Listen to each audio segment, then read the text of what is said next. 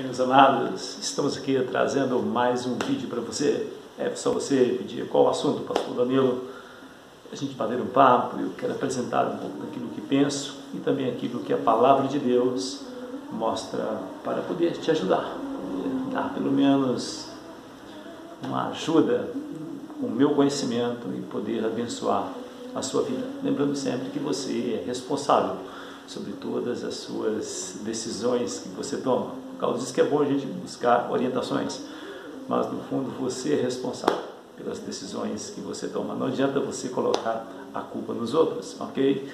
E vou falar a respeito do que penso, respeito se você é alguém divorciado ou não, divorciada ou não, mas quero falar um pouco a esse respeito. Vivemos em dias tão difíceis. Se a pessoa pensa em casamento, alguém diz que você já está no investimento falido a maioria dos casamentos que estão acontecendo hoje estão todos indo por água abaixo. Essa é a verdade, não estão dando certo. Meus amados, como o casamento chegou a esse ponto que, eu, que está vivendo hoje? A falta de relacionamento, a infidelidade conjugal, a questão da bissexualidade muitas vezes também, o negócio sabe, fica complicado, a falta de paciência, um não entende o outro, cada um quer ser feliz, ok? As pessoas envolvem pornografia, em pecado, em traição, em eu não gosto disso, eu não gosto daquilo, exigência, problema, exigência quanto ao trabalho, o cara quer, o cara é folgado, quer que a esposa mantenha a casa, quer dividir, sabe? Pode ser que problemas demais. A mulher não quer ser submissa, tem problema de, com a questão de querer ser machista, outro é um movimento, movimento feminista. Então você sabe, há uma complicação, há um, há um, há um contender de problemas vindo para cima do relacionamento das pessoas. E esse cuidado deve ser tomado durante a vida conjugal. Eu sou casado há 28 anos com a mesma mulher, Lucilene, a qual eu amo demais. É uma bênção na minha vida. Nós aprendemos a conviver durante o tempo, a amar um outro, respeitar um outro, desenvolver confiança. Eu viajo demais sozinho, gosto de viajar, talvez eu gosto de viajar sozinho mesmo também, sabe? as matas afora, por lugares perigosos, sabe? Minha esposa, ela confia em mim. Tenho muitas amigas, mulheres, sabe? Não há problema com isso sempre há um respeito. Geralmente, quando eu encontro com a mulher, a primeira coisa é que ela fica sabendo é que eu sou casado. É, é verdade. Qualquer coroa, qualquer mulher que chega para conversar comigo, rapidamente ela vai saber que eu tenho dono, ok? Somente se ela começa a entrar por momentos. E algumas continuam sendo amigas e outras, ó, por fora. Então, assim, a gente trabalhando, quero bater um papo bem descontraído durante alguns minutos a respeito de divórcio, né? E às vezes o casamento fica intolerável mesmo. O cara parte para agressão, bater na esposa, é, quer ter um punhado de mulher lá fora. E às vezes tem homem também que passa até a gostar de outros homens também. Cara fica assim, só quer se preocupar com ele. Talvez o casamento chegue aí na idade que já estou, ou mais um pouquinho, a esposa talvez já teve filhos, já não está com pique mesmo do que o marido e o negócio começa a problemar, o cara começa a achar defeito e querer um meio para para fora, não sabendo que ele também está indo para o mesmo rumo. Então, assim, estou apresentando para vocês as, as, dificuldades que o casamento está vivendo, a falta, a falta de visão quanto ao casamento. Diante dessas situações, isso fica difícil aí, pastor, o que, que faço? Posso divorciar ou não? O que, que eu faço da minha vida? Eu não suporto mais o meu casamento. Meu marido é violento, meu marido me trai, meu marido é um cara que me compreende. Eu não sou feliz. Eu entendo, meu amado, que a vida é muito curta para você poder viver ao lado de quem te odeia, de quem te aborrece, de alguém que não quer nada com você. Essa é a pura verdade. A vida é muito curta para você poder ver alguém que fica te espancando, alguém que fica te maltratando, alguém que fica te traindo, alguém que não quer ver você sorrindo, acha beleza só nas pessoas que estão lá fora e não acha beleza em você, que é o cônjuge dele ou dela. Como conviver com essas coisas? Como fazer isso? Eu sempre vou para a palavra de Deus, que nós devemos colocar todos os nossos pedidos, todas as nossas necessidades diante de Deus. É isso que eu falo para você, que não está feliz no seu casamento. Dobre seus joelhos, coloque o seu cônjuge diante do Senhor. É a melhor coisa que você faz. Deus resolve qualquer problema no casamento ok? Ele que arrumou, digamos, essa confusão tremenda. Foi ele que criou o casamento, vendo a necessidade do homem, vendo Adão triste lá, ele arrumou uma companheira para ele. Então Deus tem a solução para o casamento. Se você está com um casamento infeliz, Eu digo para você, a solução está em Deus. Se você buscar, haverá solução para o seu problema. Não há problema impossível que Deus não possa resolver. E eu digo que casamento é o negócio mais difícil que tem para resolver. Alguém diz que é mais fácil você ressuscitar um morto do que ressuscitar um casamento, de tão difícil que é. Mas pensando bem naquilo que Jesus disse, observe bem que uma certa feita alguém chegou perto dele e disse a respeito do divórcio. Diz, olha, Moisés deu carta de divórcio, aí Jesus, que tu me diz disso aí? Jesus responde, olha, ele deu carta de divórcio é por causa da dureza dos vossos corações. Então entenda que, e no princípio, não foi assim. Observe bem que depois ele diz, olha, é, divórcio é, pode ser concedido diante a relações sexuais ilícitas. E surgem vários posicionamentos, né? Se, essa, se simplesmente uma traição, eu posso dar divórcio para minha esposa ou para o meu esposo. Alguém diz, ah, é quando o homem estiver gostando de homem, é uma perfeição sexual, a mulher só gostando de mulher, de outra mulher, eu posso dar divórcio para ela, o homem também gostando de outro homem, eu posso dar divórcio, posso separar dele. Mas eu digo para você, uma grande confusão, vários posicionamentos que essa turma de teólogos ficam jogando por aí. Mas eu posso dizer algo para você. Jesus diz, olha, o divórcio foi concedido é por causa da dureza do vosso coração.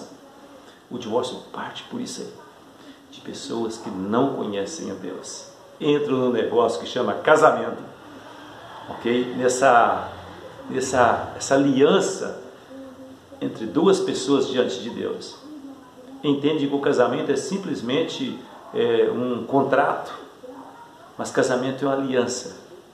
Já tem pessoas que entram no casamento já pensando em separar, já pensando em bens materiais, se não der certo eu separo. Então já está entrando no casamento errado. Então eu entendo que casamento é uma aliança diante de Deus. É alguém que está casando para fazer o outro feliz. É alguém que tem um conhecimento do que é casamento. Primeiro, alguém que tem um conhecimento de Deus. Alguém que teme a Deus. Alguém que tem um coração movido pelo Espírito Santo de Deus. Alguém que é filho de Deus. Alguém que é convertido. Aí é claro que um homem ou uma mulher convertida não vai procurar fazer aliança com pessoas que não conhecem a Deus, com pessoas que não têm o temor de Deus. É algo muito importante, meus amados, a questão da dureza do coração. O seu coração precisa de ser trocado. Não um coração de pedra, mas um coração de carne. E a partir desse princípio, o casamento assim, é como um jardim que precisa de ser regado dia após dia, precisa de ser cuidado. O namoro não pode terminar no momento que você casa, o namoro precisa de continuar. Você precisa de viver esse momento maravilhoso. O casamento é a continuação do namoro. Então, a primeira parte que coloco, o divórcio bem, foi concedido por causa da dureza do coração do homem. Por causa do homem estar com o coração longe de Deus. Então, meu amado, você que é casado, você que é casado, seu coração precisa estar com Deus. As suas vontades precisam de serem crucificadas em Cristo Jesus. Segundo lugar, Jesus ele mostra respeito, ele diz que no princípio não foi assim. Então você precisa voltar ao princípio. Você precisa buscar e permanecer em comunhão com Deus. Você que é crente, olhe junto com seu esposo, olhe junto com a sua esposa. Não dê oportunidade para o diabo Quantas mulheres negam relação sexual aos seus maridos? Ou quantos maridos da mesma forma também? E começa por aí fora. Meus amados, a mulher não pode, tem que haver um acordo mútuo entre os dois, mesmo precisa ser trabalhado. Se tem alguma doença que atrapalha a vida sexual, precisa ser tratada, precisa levar para o médico, poder ver o que está acontecendo. O princípio é que os dois não possam satisfazer o outro. Que no princípio não foi assim. O principal objetivo do, de Deus ter concedido Eva a Adão é para ele ser feliz, para acabar com aquela solidão. A Eva foi dada como ajudadora, foi dada como um socorro para a vida do homem e não como um pesadelo. Então busque o princípio da palavra de Deus, da vontade de Deus no seu casamento. Busque a cada dia mais a compreender o seu cônjuge, orar pela vida do seu cônjuge. Divórcio, meus amados, é algo que Deus odeia. Ele chega a declarar em Malaquias que eu odeio o divórcio, eu repudio o divórcio. Principalmente quando ainda chega colocada do homem que abandona a mulher da sua mocidade. Eu entendo que o divórcio não foi feito para os filhos de Deus. O divórcio foi feito para os homens que estão nas trevas, endurecidos dos seus pecados. Algo que dói muito, mas é real. Então, meu amado e minha amada, cuide bem do seu cônjuge, cuide bem do seu casamento, antes que seja tarde demais. Porque o que eu entendo, meu amado, que um dia, a Bíblia diz que um dia nós prestaremos contas a Deus da nossa vida conjugal. Um dia Deus vai te pedir conta. Se você é solteiro, meu amado, te dou um conselho: procure não casar-se. O mesmo apóstolo Paulo fala, por causa das dores, por causa dos desafios que virão. Mas se você não consegue, meu filho, a melhor coisa é casar. 28 anos casado, Deus tem abençoado a minha vida poderosamente nesse tempo. Mas, meu amado, casamento é aliança. Uma aliança entre o homem, a mulher Deus. Se Deus estiver fora, o seu casamento será fracassado.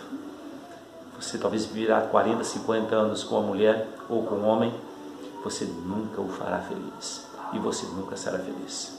O Senhor é que nos dá sentido para o nosso casamento, um casamento abençoado. Se você pensa em divorciar, meu amado, coloque diante de Deus. Ele nasça de novo. Reconcilie com Deus, faça uma aliança com Deus e coloque diante de Deus a sua esposa ou seu esposo. Deus lhe dará uma resposta. É isso aí, meu amado. Deus abençoe. Essas são as minhas poucas palavras, com pouca sabedoria, mas algo que pode te ajudar bastante no seu dia a dia. Deus abençoe. Se você gostar deste vídeo, dê o seu like ou dislike. Compartilhe com seus amigos. Comente os nossos vídeos. Faça seus pedidos de oração.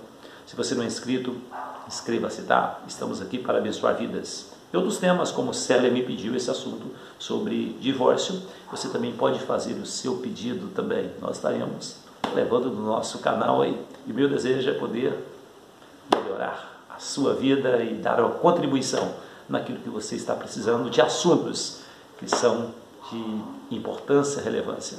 Deus abençoe. PR. Danilo Nunes, o seu amigo de todas as horas. Tchau.